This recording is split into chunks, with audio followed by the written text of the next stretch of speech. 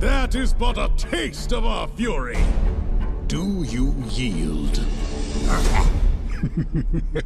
I do not.